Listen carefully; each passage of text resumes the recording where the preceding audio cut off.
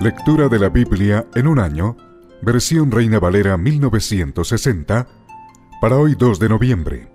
El Evangelio según San Lucas, capítulo 14.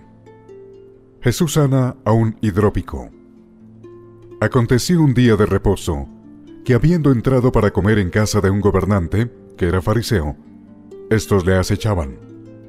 Y aquí estaban delante de él un hombre hidrópico entonces Jesús habló a los intérpretes de la ley y a los fariseos diciendo, ¿Es lícito sanar en el día de reposo?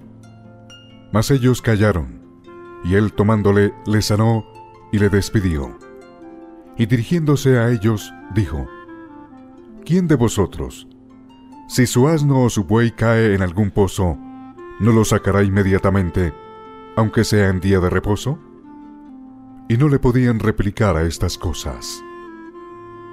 Los convidados a las bodas. Observando cómo escogían los primeros asientos a la mesa, refirió a los convidados una parábola diciéndoles, Cuando fueres convidado por alguno a bodas, no te sientas en el primer lugar, no sea que otro más distinguido que tú esté convidado por él, y viniendo el que te convidó a ti y a él, te diga, da lugar a este y entonces comiences con vergüenza a ocupar el último lugar. Mas cuando fueres convidado, ve y siéntate en el último lugar, para que cuando venga el que te convidó, te diga, amigo, sube más arriba. Entonces tendrás gloria delante de los que se sientan contigo a la mesa. Porque cualquiera que se enaltece, será humillado, y el que se humilla, será enaltecido. Dijo también al que le había convidado, Cuando hagas comida o cena, no llames a tus amigos, ni a tus hermanos, ni a tus parientes, ni a vecinos ricos, no sea que ellos a su vez te vuelvan a convidar y seas recompensado.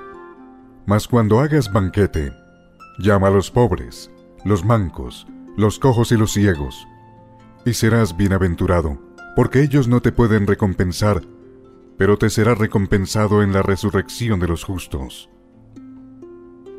Parábola de la Gran Cena.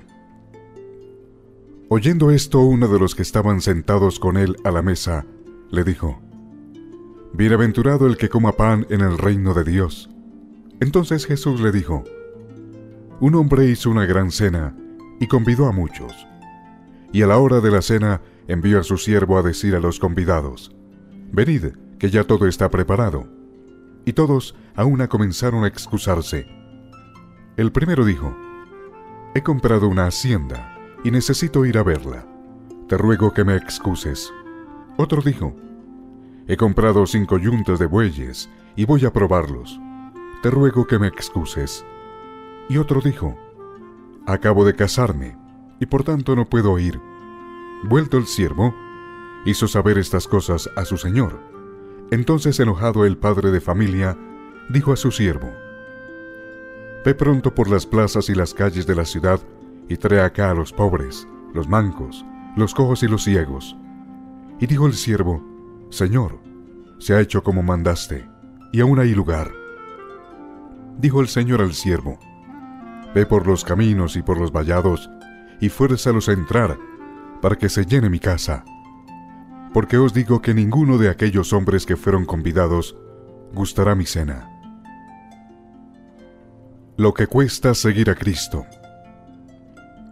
Grandes multitudes iban con él, y volviéndose les dijo, Si alguno viene a mí, y no aborrece a su padre, y madre, y mujer e hijos, y hermanos y hermanas, y aun también su propia vida, no puede ser mi discípulo y el que no lleva su cruz y viene en pos de mí, no puede ser mi discípulo.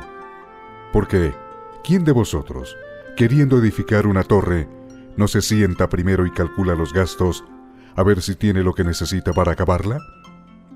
No sea que después que haya puesto el cimiento y no pueda acabarla, todos los que lo vean comiencen a hacer burla de él, diciendo, Este hombre comenzó a edificar y no pudo acabar. ¿O qué rey?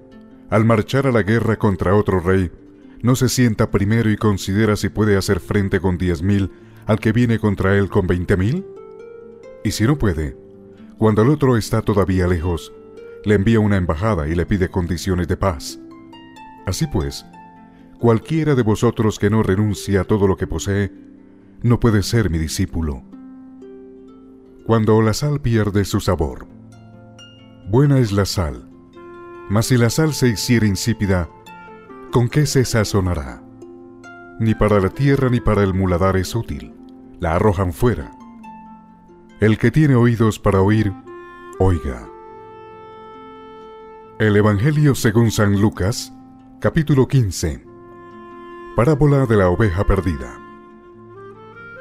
Se acercaban a Jesús todos los publicanos y pecadores para oírle, y los fariseos y los escribas murmuraban diciendo, Este los pecadores recibe, y con ellos come. Entonces él le refirió esta parábola diciendo, ¿Qué hombre de vosotros, teniendo cien ovejas, si pierde una de ellas, no deja las noventa y nueve en el desierto, y va tras la que se perdió hasta encontrarla?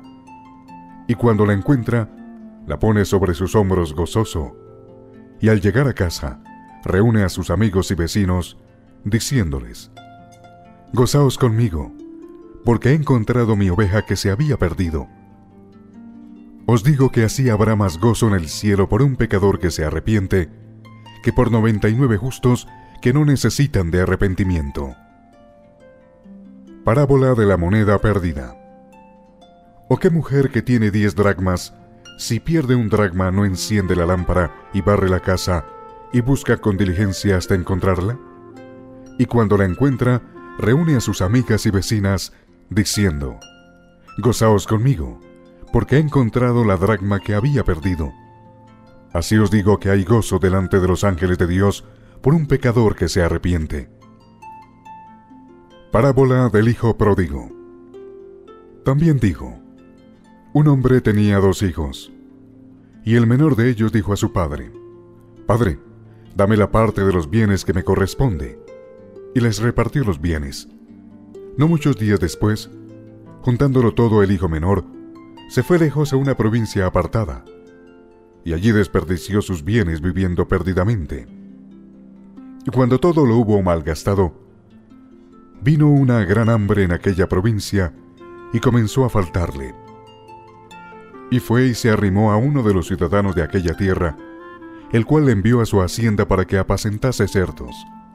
Y deseaba llenar su vientre de las algarrobas que comían los cerdos, pero nadie le daba. Y volviendo en sí, dijo, ¿Cuántos jornaleros en casa de mi padre tienen abundancia de pan? Y yo aquí perezco de hambre. Me levantaré e iré a mi padre, y le diré, Padre, he pecado contra el cielo y contra ti ya no soy digno de ser llamado tu hijo, hazme como a uno de tus jornaleros. Y levantándose vino a su padre. Y cuando aún estaba lejos, lo vio su padre, y fue movido a misericordia, y corrió, y se echó sobre su cuello, y le besó. Y el hijo le dijo, Padre, he pecado contra el cielo y contra ti, y ya no soy digno de ser llamado su hijo. Pero el padre dijo a sus siervos, Sacad el mejor vestido, y vestidle, y poned un anillo en su mano, y calzado en sus pies, y traed el becerro gordo y matadlo, y comamos y hagamos fiesta. Porque este mi hijo muerto era, y ha revivido, se había perdido, y es hallado. Y comenzaron a regocijarse. Y su hijo mayor estaba en el campo, y cuando vino, y llegó cerca de la casa, oyó la música y las danzas, y llamando a uno de los criados, le preguntó qué era aquello. Él le dijo, Tu hermano ha venido, y tu padre ha hecho matar el becerro gordo por haberle recibido bueno y sano. Entonces se enojó y no quería entrar. Salió por tanto su padre y le rogaba que entrase. Mas él, respondiendo, dijo al padre, He aquí, tantos años te sirvo, no habiéndote desobedecido jamás, y nunca me has dado ni un cabrito para gozarme con mis amigos. Pero cuando vino este tu hijo, que ha consumido tus bienes con rameras, ha hecho matar para él el becerro gordo. Él entonces le dijo, Hijo, tú siempre estás conmigo, y todas mis cosas son tuyas. mas era necesario hacer fiesta y regocijarnos, porque este tu hermano era muerto, y ha revivido, se había perdido, y es hallado. El Evangelio según San Lucas, capítulo 16. Parábola del mayordomo infiel. Dijo también a sus discípulos, Había un hombre rico que tenía un mayordomo, y éste fue acusado ante él como disipador de sus bienes. Entonces le llamó y le dijo, ¿Qué es esto que oigo acerca de ti?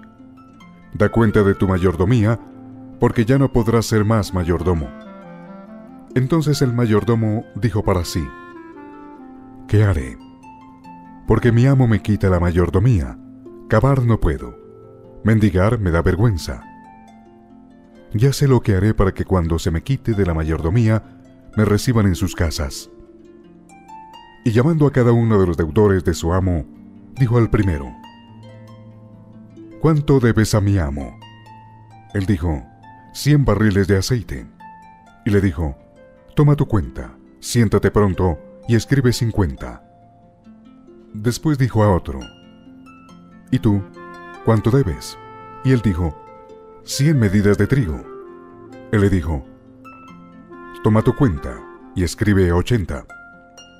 Y alabó el amo al mayordomo malo por haber hecho sagazmente. Porque los hijos de este siglo son más sagaces en el trato con sus semejantes que los hijos de luz. Y yo os digo, ganad amigos por medio de las riquezas injustas, para que cuando éstas falten, os reciban en las moradas eternas. El que es fiel en lo muy poco, también en lo más es fiel. Y el que en lo muy poco es injusto, también en lo más es injusto. Pues si en las riquezas injustas no fuisteis fieles, ¿quién os confiera lo verdadero? Y si en lo ajeno no fuisteis fieles, ¿quién os dará lo que es vuestro?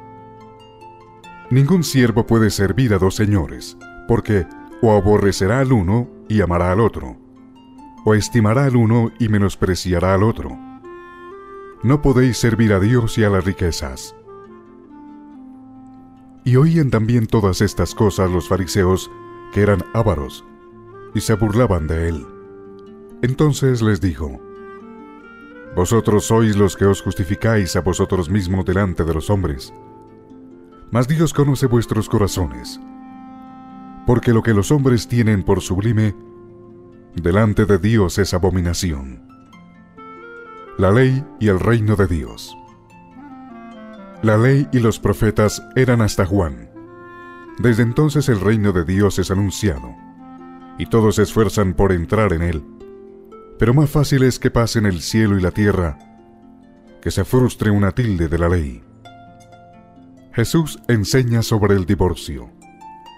Todo el que repudia a su mujer y se casa con otra, adultera, y el que se casa con la repudiada del marido, adultera. El rico y Lázaro. Había un hombre rico que se vestía de púrpura y de lino fino, y hacía cada día banquete con esplendidez. Había también un mendigo llamado Lázaro, que estaba echado a la puerta de aquel, lleno de llagas, y ansiaba saciarse de las migajas que caían de la mesa del rico, y aun los perros venían y le lamían las llagas. Aconteció que murió el mendigo, y fue llevado por los ángeles al seno de Abraham. Y murió también el rico, y fue sepultado. Y en el Hades alzó sus ojos, estando en tormentos, y vio de lejos a Abraham y a Lázaro en su seno. Entonces él, dando voces, dijo, Padre Abraham, ten misericordia de mí, y envía a Lázaro para que moje la punta de su dedo en agua, y refresque mi lengua, porque estoy atormentado en esta llama. Pero Abraham le dijo, Hijo, acuérdate que recibiste tus bienes en tu vida, y Lázaro también males, pero ahora éste es consolado aquí y tú atormentado. Además de todo esto, una gran cima está puesta entre nosotros y vosotros, de manera que los que quisieren pasar de aquí a vosotros no pueden, ni de allá pasar acá. Entonces le dijo, Te ruego pues, Padre, que le envíes a la casa de mi Padre, porque tengo cinco hermanos, para que les testifique, a fin de que no vengan ellos también a este lugar de tormento. Y Abraham le dijo, A Moisés y a los profetas tienen, óiganlos. Entonces dijo, No, padre Abraham, pero si alguno fuere a ellos de entre los muertos, se arrepentirán. Mas Abraham le dijo, Si no oyen a Moisés y a los profetas, tampoco se persuadirán aunque alguno se levantare de los muertos. Evangelio según San Lucas, capítulo 17. Ocasiones de caer.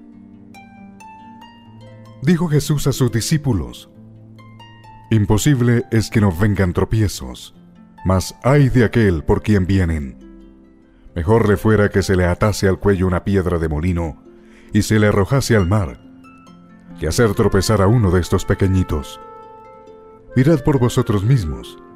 Si tu hermano pecare contra ti, repréndele, y si se arrepintiere, perdónale. Y si siete veces al día pecare contra ti, y siete veces al día volviere a ti, diciendo, me arrepiento, perdónale. Aumentanos la fe. Dijeron los apóstoles al Señor, aumentanos la fe. Entonces el Señor dijo, Si tuvierais fe como un grano de mostaza, podríais decir a este sicómoro, desarráigate y plántate en el mar, y os obedecería. El deber del siervo.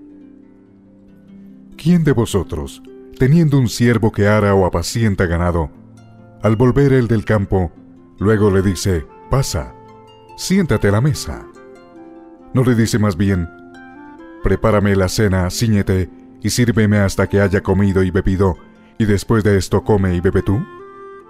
¿Acaso da gracias al siervo porque hizo lo que se le había mandado? Pienso que no. Así también vosotros, cuando hayáis hecho todo lo que os ha sido ordenado, decid, siervos inútiles somos, pues lo que debíamos hacer hicimos diez leprosos son limpiados.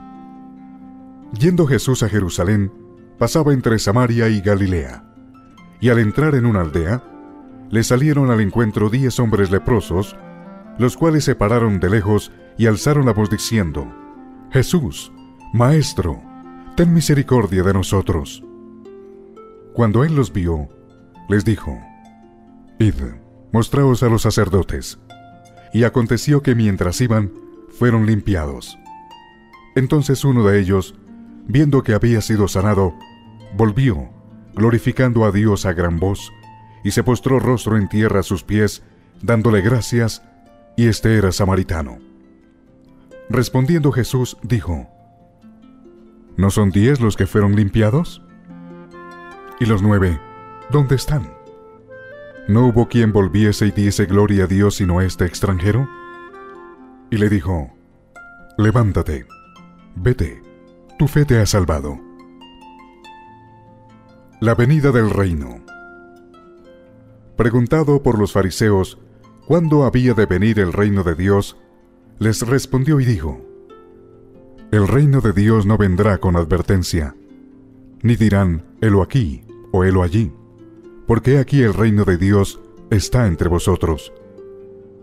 Y dijo a sus discípulos, Tiempo vendrá cuando desearéis ver uno de los días del Hijo del Hombre, y no lo veréis. Y os dirán, helo aquí, o helo allí. No vayáis, ni lo sigáis. Porque como el relámpago que al fulgurar resplandece desde un extremo del cielo hasta el otro, así también será el Hijo del Hombre en su día. Pero primero es necesario que padezca mucho, y sea desechado por esta generación. Como fue en los días de Noé, así también será en los días del Hijo del Hombre. Comían, bebían, se casaban y se daban en casamiento, hasta el día en que entró Noé en el arca, y vino el diluvio y los destruyó a todos. Asimismo como sucedió en los días de Lot, comían, bebían, compraban, vendían, plantaban, edificaban. Mas el día en que Lot salió de Sodoma, llovió del cielo fuego y azufre, y los destruyó a todos. Así será el día en que el Hijo del Hombre se manifieste. En aquel día, el que esté en la azotea y sus bienes en casa, no descienda a tomarlos, y el que en el campo asimismo no vuelva atrás. Acordaos de la mujer de Lot. Todo el que procure salvar su vida la perderá, y todo el que la pierda la salvará. Os digo que en aquella noche estarán dos en una cama, el uno será tomado y el otro será dejado. Dos mujeres estarán muriendo juntas, la una será tomada y la otra dejada. Dos estarán en el campo, el uno será tomado y el otro dejado. Y respondiendo le dijeron, ¿Dónde, Señor? Él les dijo, Donde estuviera el cuerpo, allí se juntarán también las águilas.